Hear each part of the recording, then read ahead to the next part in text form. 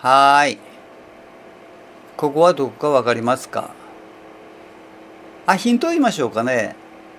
国道15線、えー、鹿児島方面に向かっています。無線は大体わかりますよね。アイラですよ。アイラ。えー、ほいでですね、えー、あ、そうだ。最初飲み物からあれしましょう。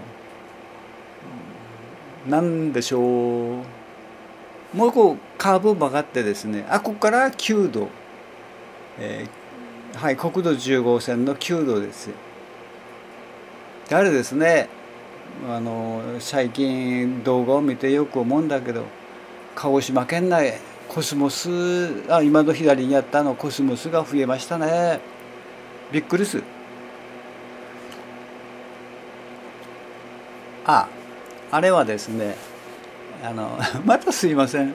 普通のあれなんですけども凝ったやつじゃなくてですね伊藤園の玄米茶。そうですよ。もうここのところ結構あれです、えー、お茶。昔あれはチャクレばあさんとかチャクレじじいとかやってましたけどねその部類です。いやあれですよ。ああちなみにね今日はね2024年のね11月の23日。昨日がいい夫婦の日。22日ですからね。だけどいい23の人はいませんよね。なこてやろうか。まあまあそれはそれとですねしてですよ。えー、今日はちょっとあの、えー、久しぶりにあの電話かけてみます。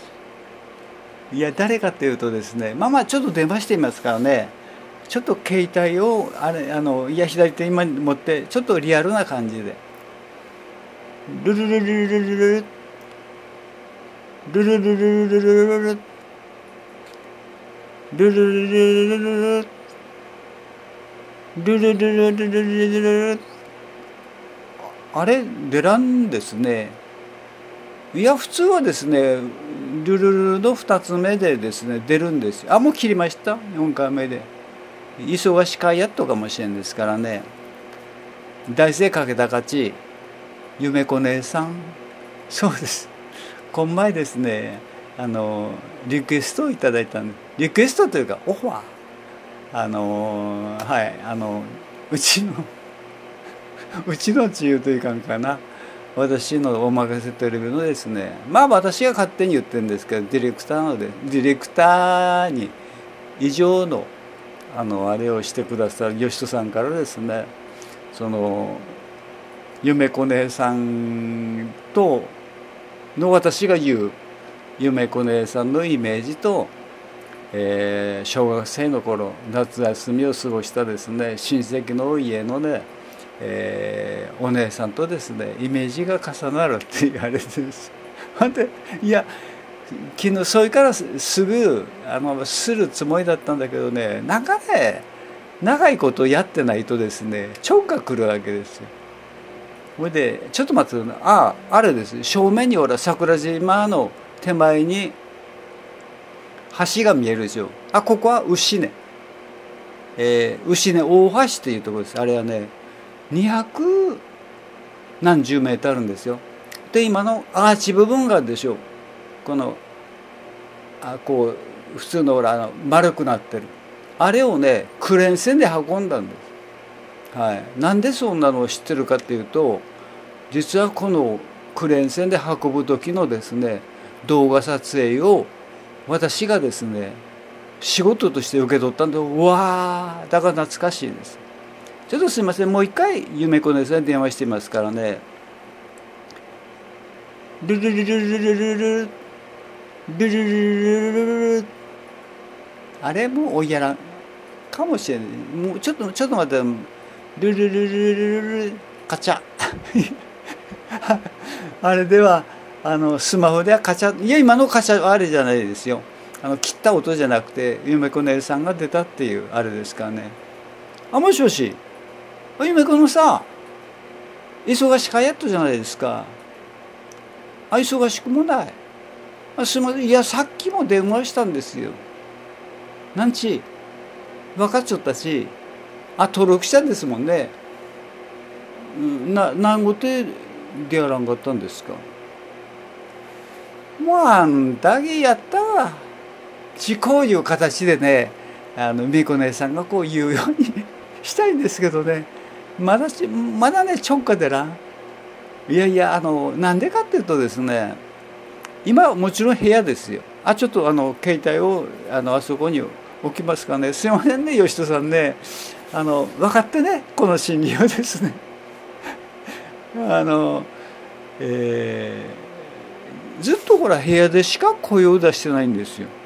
いやこの部屋の中ではハイテンションなんだけど、えー、外で実際に今のドライブ動画あここはまだあるんですよ。すいませんちょっとあの、えー、あれですけどこいからですね今桜島から、えー、をぐるっと回って牛根からですね次の信号を、えー、左折したところまではこここの辺では昔海だったみたいです。海って昭和の大正3年じゃなくて昭和のあれでですねここがつながったっていう。ここはちょっと説明しようしようかと思って。ほんで今大隅川に渡ったところ。あ向こうの方に小さく見えるでしょう。あれはね江ノ島ではい。いやいやみんなああもうもうすぐだけど動画変わりますよ。はい。そしてですねえー、あれ。外に出てですね実際のもうちょっと大きな声で、えー、今度はドライブ中にですよ。実際のドライブ中に「いや鹿児島市内をそろそろ取らないかん時期ですからそこで、えー、声を張ってですよ。声を張ってそこで夢子姉さんを助手席に乗せるとかそれからそうですね。夢猫な線のいやあの設定の中では夢子姉さんは、えー、いずろのどっかあの界隈でですねお店をして喫茶店みたいなのをしててその5階 ,5 階から6階建ての、えー、雑居ビルのオーナーさんからここを夢子姉さんに任せるからあなたの好きなように使っていいよっていう設定になってるんです。もう長いこと使ってませんけどね。だからそれを、えー、思い出したんですよ。だから夢子姉さんのイメージは最初通りでいこうと。でですからねそういうもね徐々にねあのできていくと思う。いや物語はあの裾野が広いですよ。あの夢子姉さんはそしてその、えー、いろんなその何ですかね、えー、自分はあんまり知らないけどいろんな人から教えてもらったあれなんかをね、えー、後世に残そうというあれもあるしそれと前ちょこってあったんですけどね、えー、とんがり山の UFO 騒ぎやったっけ？はい。そういうそれにはね鹿児島弁を使うね、えー、先輩とかね次郎吉さんとかねそれから何家、えー、もう食わせれてしまう、えー、成彦さんとかね。でその他にもですね、えー、その夢子姉さんが創作した浦島太郎とかですよ。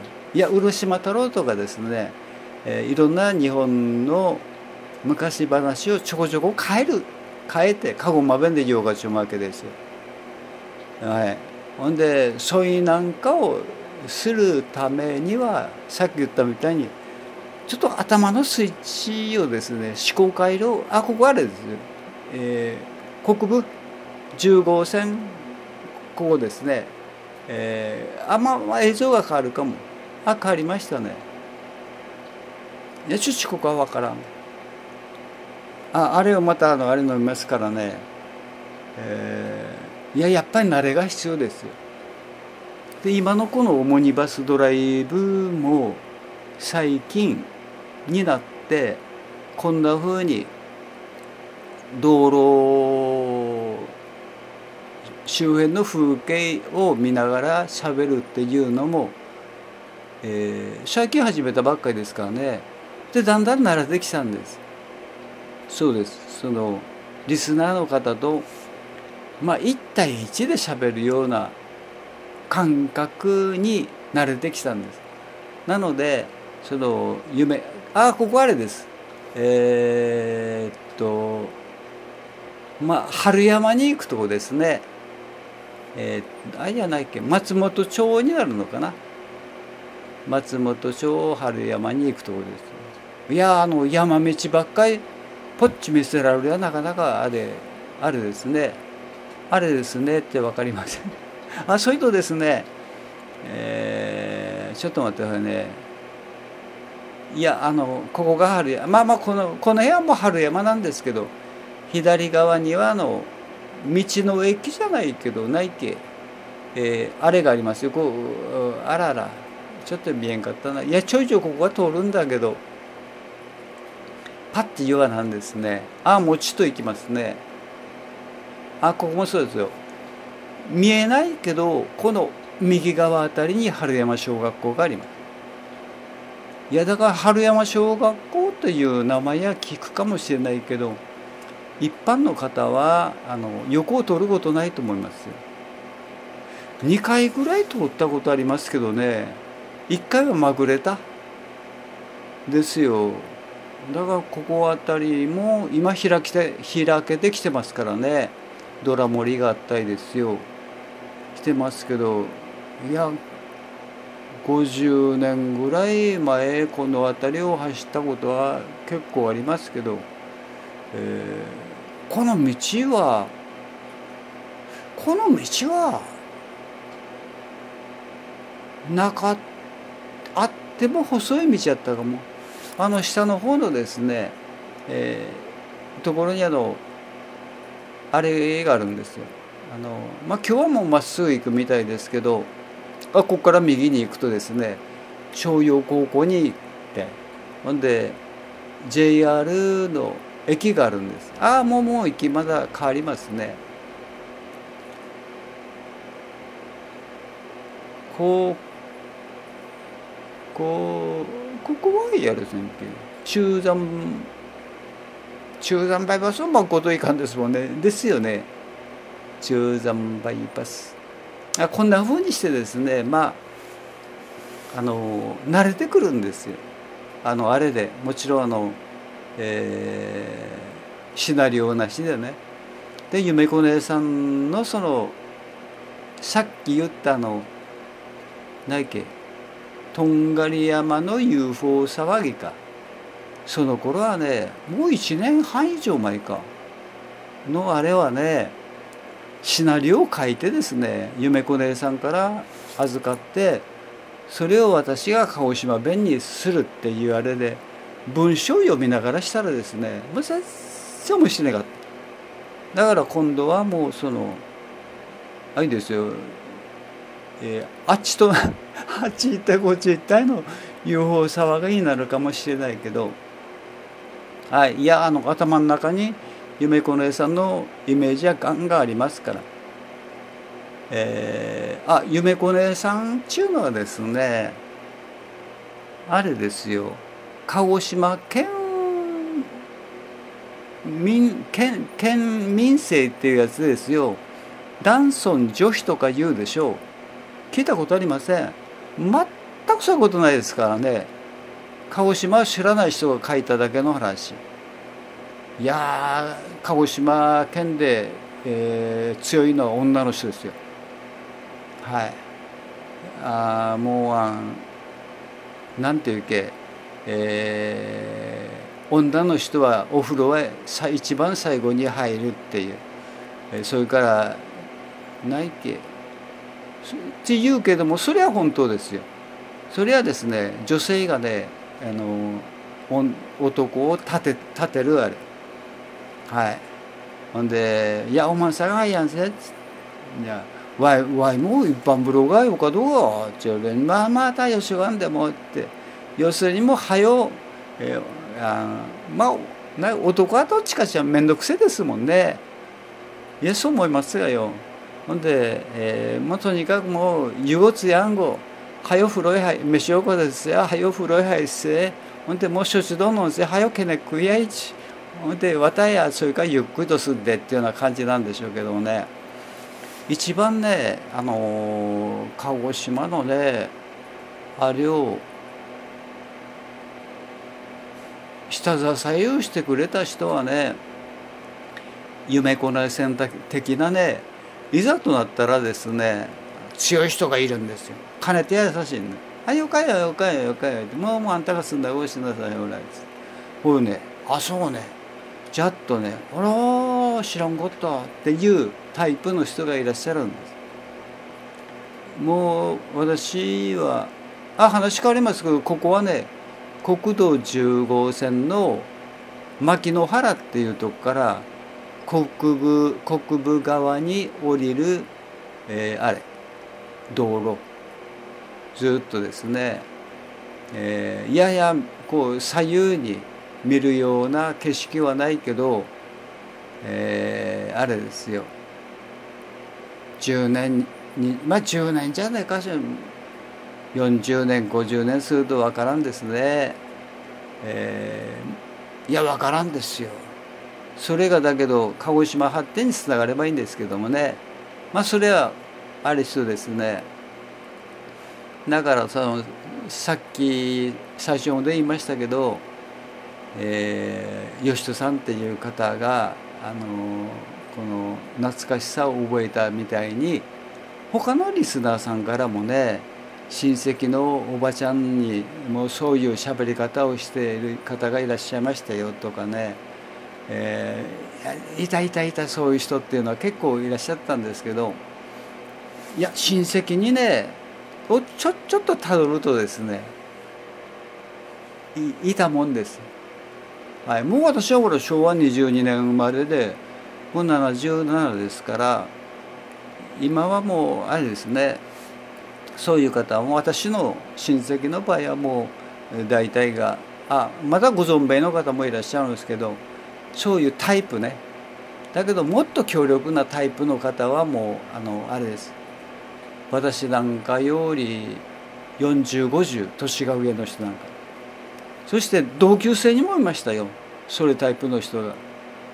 ほんで私なんかがこう女の子に対してちょっとこうからかったりすると度が過ぎると「なんであんた黙っちょるわ」ないもんねって言われると私なんか「まあ、それ言うなよ遊びやだよ」ないが遊びねあんた。恋が遊びやればいけんなんのね。あんたはよ我が学校になった時を考えてごらん。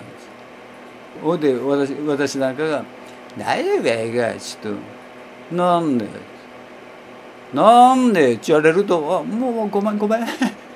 ごめん ねちゅうぐらい、はい、だからそういう意味でですね私があのあ言ったけ？あ途中になっちゃったけ？